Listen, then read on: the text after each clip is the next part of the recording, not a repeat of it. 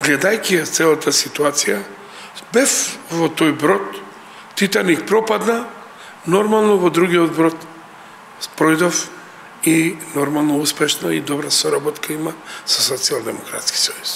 Ова го изјави Амди Бајрам, единствениот пратеник на Сојузот на Роми. Ги негира гласините дека ќе преговара со ВМРО ДПМН, но реакцијата важи за овој период односно до изборите, а по изборите ништо не е сигурно. Тоа, тоа отом потом.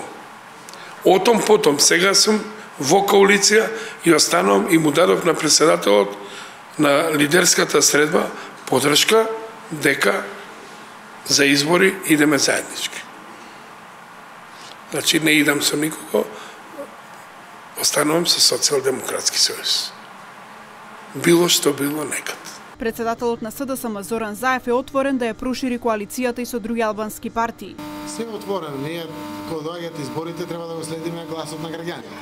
Ти од прилика упатуваат како да се терат коалициите со коалиционите партнери до сега изградивме голема добро. Со сериозни храбри одлуки се донесоа во овие две и пол години, сериозни реформи се направија во сите, во сите области економијата на вистина расте со а, очекувано темпо и веруваме дека во успешните политики се ќе не донесат во позиција да разговараме за нова капацитетна влада. Знаете дека тоа зависи многу од програми, многу зависи од кадри кои што ќе бидат понудени и во периодот на создавањето на парламентарните листи, но и во периодот на составувањето на идните влади, така да многу е важно сега да се го дадеме зборот пред граѓаните. А од Алијанса за албанците вела дека вратите им се отворени за коалиција со албанските опозицијски партии, но не ги спомна двете македонски партии СДСМ и ВМРО ДПМН. Нашите ставови се јасни околу овие прашања, ние сме отворена политичка партија, имаме повик до сите опозициони албански политички партии без алтернатива да се приклучиме во еден заеднички фронт, опозиционен политички фронт или блок кај албанците. А дали имате одговор Очекуваме одговори, нека размислуваат, ние сме отворени, изборите се на 12 април, има време и веруваме дека до тоа ќе дојде. Лидерот на движење Беса, Билал Касами, вчера во емисијата 10 минути во телевизија 21 рече дека е подготвен да коалицира со Алијанса за албанците на Зијадин села.